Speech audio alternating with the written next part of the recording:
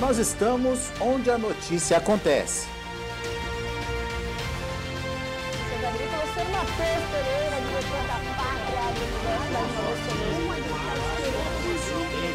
bom dia, agronegócio. Terça-feira, 21 de setembro de 2021, 8 horas. Tudo para que você seja o porta-voz de si mesmo. A Steel tem orgulho em estar junto de quem faz a agricultura ir em frente. De quem faz com dedicação, empenho, carinho e que faz crescer todos os dias seu orgulho por viver da terra. De quem faz o amor pelo campo ultrapassar gerações. E de quem faz o seu melhor de sol a sol, de sonho a sonho, para seguir fazendo a sua história. Steel, junto de quem faz o agro.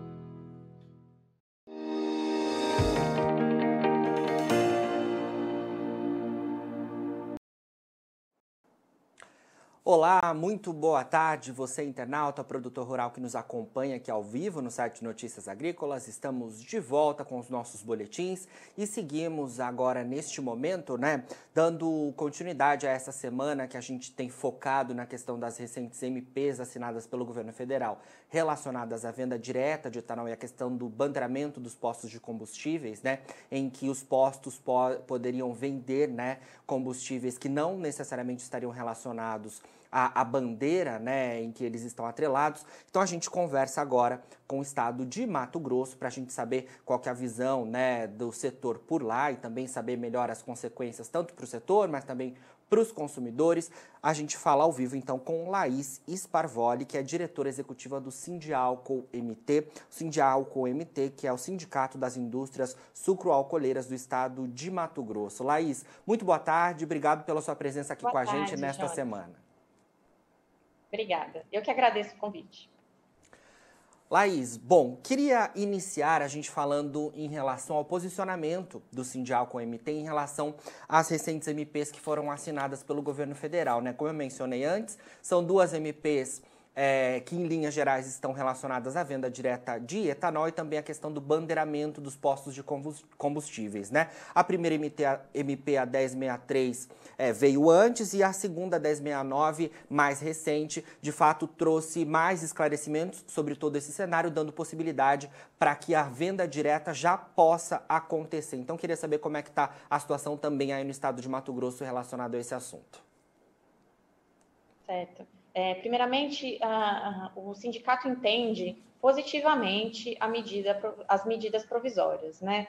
É, nós acreditamos que toda a possibilidade adicional dada às usinas e aos postos de combustíveis, elas são positivas, né? Então, a gente tem hoje um, um, um adicional de, de possibilidade das usinas em vender diretamente para esses postos de combustíveis e os postos também têm uma, um, uma opção de comprar de mais de um fornecedor, né? Então, isso é positivo. É, atualmente, Jonas, a gente ainda não, não está encontrando é, essa venda direta acontecendo, tá? Eu vou te explicar por quê.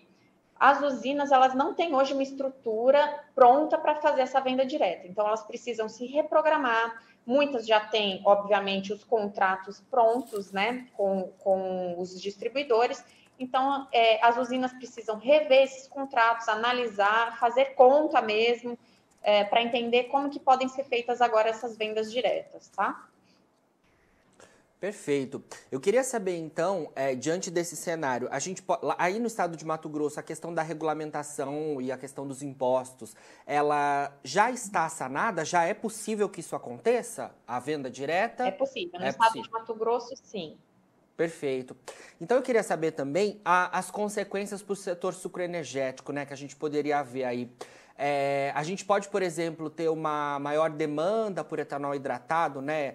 É, uma demanda nesta safra 2021-22 que a gente tem visto que tem sido é, bem fraca, né? Justamente por conta da questão da paridade do hidratado sobre a gasolina e o anidro tem sido um grande destaque. Como é que o Sindialco, o MT, vê essa questão é, com as MPs de fato tendo é, validade, né? E conforme você mencionou, elas começando a funcionar, a gente teria, por exemplo, um aumento de demanda por etanol hidratado? Como é que vocês veem esse cenário, esse cenário para o setor e outros benefícios também?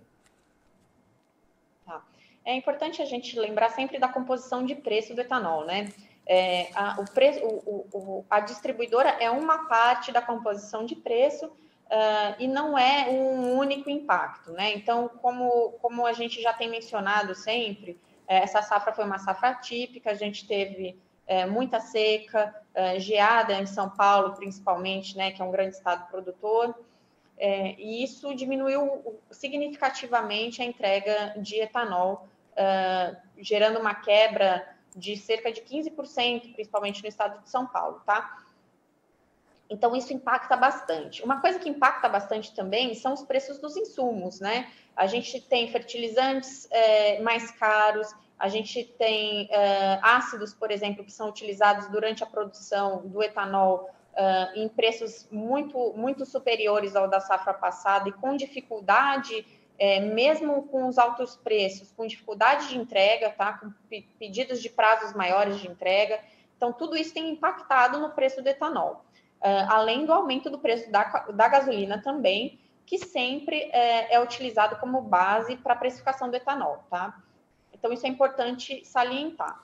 É, a gente espera, sim, que, que exista uh, um aumento de demanda do hidratado, uh, mas a gente também sabe que todo esse cenário, é, ele tem sido mais favorável aí é, a um aumento de consumo de gasolina do que o, o aumento de consumo de etanol hidratado, tá?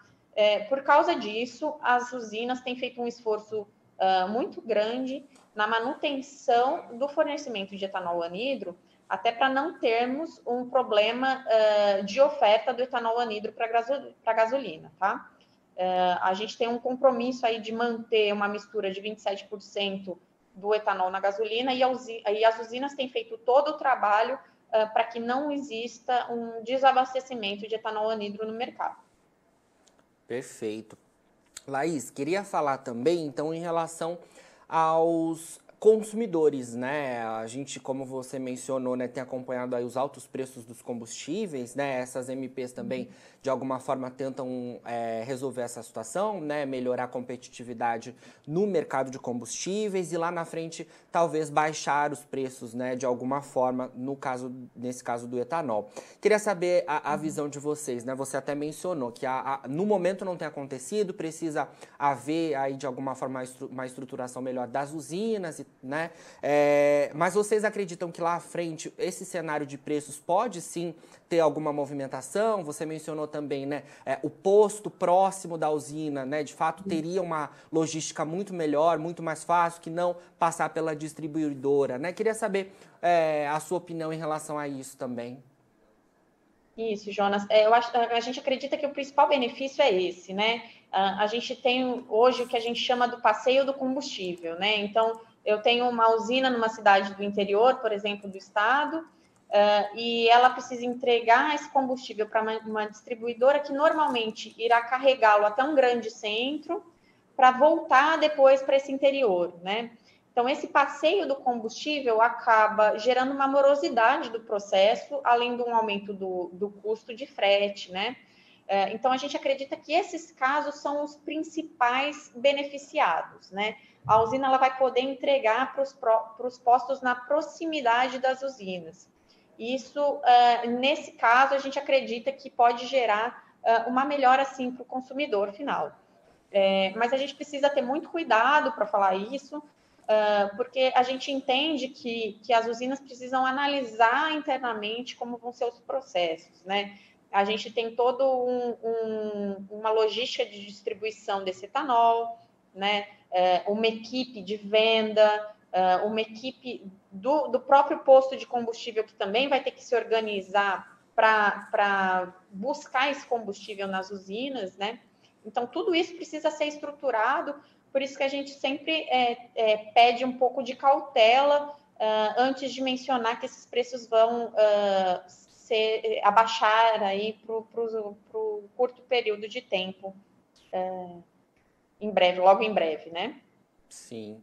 Vamos acompanhando, né, tudo isso muito de perto, isso. né, Laís? Bom, queria que você falasse um pouco também né, em relação à safra 2021-22, né? Uma safra bastante impactada aqui no Centro-Sul pela questão climática, né? Primeiro a gente teve a seca que já veio da temporada passada, da safra 21-22, né? E que de fato, durante vários meses deste ano de 2021, também teve grande influência sobre a produção. Depois a gente teve, principalmente aqui no estado de São Paulo, e até chegou a alguns estados aí também da região central, né? É, geadas acontecendo sobre áreas né, produtoras e agora mais recentemente a questão dos incêndios é, também tendo bastante atenção por parte é, das usinas. Queria que você falasse um pouco para a gente sobre essa safra, porque isso de fato teve é, grande papel sobre a movimentação dos preços, né? Mas não foi só isso também, né, Laís? É, é, como eu disse anteriormente, né, os preços internacionais eles estão elevados para praticamente todas as commodities, né? Então isso tem acarretado uma elevação dos preços dos combustíveis também, né? É, a gente tem que pensar em todos os insumos aí existentes no processo e além do preço da gasolina, é, que realmente aumentou significativamente, né? Com relação à safra, Jonas, é, a gente fala aqui no estado do Mato Grosso que nos últimos dois anos é, a gente teve uma chuva equivalente a um ano, né? Então a gente perdeu um ano de chuva. É, e isso impactou muito a produção, com certeza. A gente teve é, o benefício do etanol de milho aqui no estado ser muito significativo, porque o milho não teve uma perda tão grande quanto a cana teve. Tá? A gente não sofreu tanto assim com o abastecimento de milho. Então, a gente conseguiu compensar bastante a nossa produção de etanol é, com esse etanol de milho. Tá? Isso, isso ajudou bastante o estado a continuar produzindo. É, outra coisa que, que a gente tem é, visto bastante, que é muito importante para o Estado, são os benefícios que o Estado tem procurado dar para as produtoras de, de, de, etanol aqui no Estado, tá? É, a gente teve uma resolução recente do começo é, desse mês, do, do Condeprodemate, que beneficia o ICMS interestadual é, para a venda de etanol hidratado do estado do Mato Grosso, tá? Então, isso vai nos possibilitar uh, ajudar no fornecimento de etanol para os demais estados da federação, tá? É, então, a gente acredita que isso vai beneficiar bastante. É, esse tipo de benefício é muito importante para a gente conseguir auxiliar o consumidor final, Jonas. É, quando a gente fala uh, da medida provisória, ela é um ponto, e ela é um ótimo ponto, como eu disse anteriormente, você cria uma, uma opção, Uh, e esse tipo de benefício fiscal também é muito importante, porque a carga tributária influencia consideravelmente no preço uh, do combustível no final, tá? Na bomba. Com certeza, ainda mais no momento que a gente fala que a safra 2021-22 vai terminar um pouquinho mais cedo e a entre-safra vai ser maior, né, Laís? É, como a gente tem o milho aqui, é, a gente tem esse benefício do milho conseguir girar o ano todo, né, Jonas? mas realmente a gente tem uma previsão de que a safra é, da cana-de-açúcar termine um pouquinho antes aqui. as usinas se programaram para conseguir é, retardar o máximo possível até aí o meio de novembro, algumas vão, vão conseguir é, manter a safra até o meio de novembro, tá? É, e, e, mas a gente acredita que a maioria da safra de cana-de-açúcar vai ser colhida agora no mês de outubro, tá? Finalizada no mês de outubro. Perfeito, Laís. Muito obrigado pelas suas informações aqui com a gente do Notícias Agrícolas, viu? E sempre que tiver novidades aí é, do Sindial com o MT, queremos contar com a sua participação por aqui, viu? Obrigada. Obrigada. Conte conosco aqui no Mato Grosso. Muito obrigado, viu? Então conversamos aí com Laís Sparvoli, que é diretora executiva do Sindial com MT, Sindial com MT, então, que é o Sindicato das Indústrias Sucroalcooleiras do Estado de Mato Grosso. A gente falando sobre as recentes MPs, né, que foram assinadas pelo governo federal, relacionadas à venda direta de etanol e a questão da bandeira branca nos postos de combustíveis, né? A gente já falou com alguns estados ao longo dessa semana e a gente trazendo o posicionamento, então, das instituições relacionadas é, ao assunto e pontuando né, os benefícios para o setor sucroenergético com as duas MPs e também aos consumidores, né? Então, para o Sindial com MT, essas duas MPs trazem uma nova opção de negociação né, para as usinas e também para os postos de combustíveis. Né? A gente deve acompanhar muito de perto todo esse cenário, se de fato deve haver à frente né, é, a questão da redução dos preços e a maior competitividade no setor de combustíveis aqui no Brasil. A, a Laís nos pontuou que é, é, a gente ainda não pode dizer que é uma questão que vai ser solucionada né, muito rapidamente, que os preços já vão cair muito rapidamente, mas é, a gente precisa acompanhar, porque de fato é uma opção importante para o setor e que deve gerar benefícios para o setor sucroenergético e também benefícios aos consumidores. E a Laís dá um exemplo quando ela fala né, em relação aos postos que estão mais próximos das usinas, por exemplo. Né? Então, um posto ali que está a um quarteirão da usina, ele pode é, comprar a, o etanol hidratado ali da usina que está bem próxima, sem precisar da distribuidora, né? A distribuidora percorrer grandes espaços ou uma distribuidora sair de lá de cima para entregar o etanol aqui no estado de São Paulo. Então tem toda, toda essa questão que é, o Sindial MT então vê como uma opção para o setor e também com benefícios aos consumidores. A gente falou, então, resumiu toda essa situação também dos preços dos combustíveis, né? A gente falando em relação à safra 2021-22, que é uma safra bastante impactada pela condição climática, mas também é, a gente precisa ter a ciência da questão externa, das commodities também é, muito valorizadas nos últimos meses, né? Então o mercado de combustíveis também acompanha todo esse cenário e tem também a questão da tributação é, por parte dos estados, que também tem um peso importante na questão, é, na composição, né, na verdade, dos preços dos combustíveis aqui no Brasil.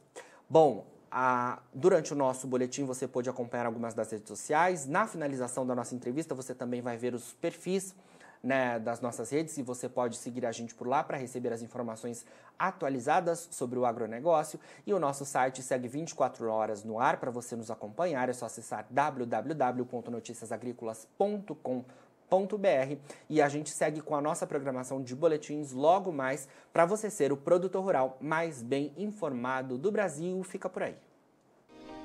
Se inscreva em nossas mídias sociais. No Facebook, Notícias Agrícolas no Instagram, arroba Notícias Agrícolas e em nosso Twitter, arroba Norteagri.